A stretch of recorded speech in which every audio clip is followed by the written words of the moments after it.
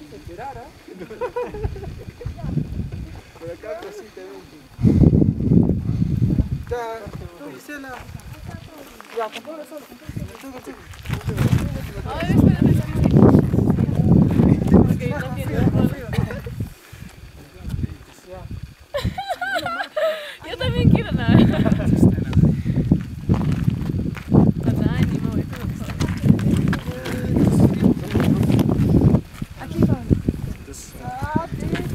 perdón.